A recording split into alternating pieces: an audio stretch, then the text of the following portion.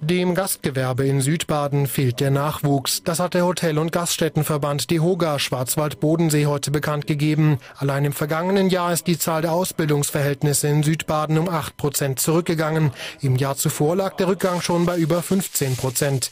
Der Verband versucht mit Hilfe von Ausbildungsmentoren dem Trend entgegenzuwirken.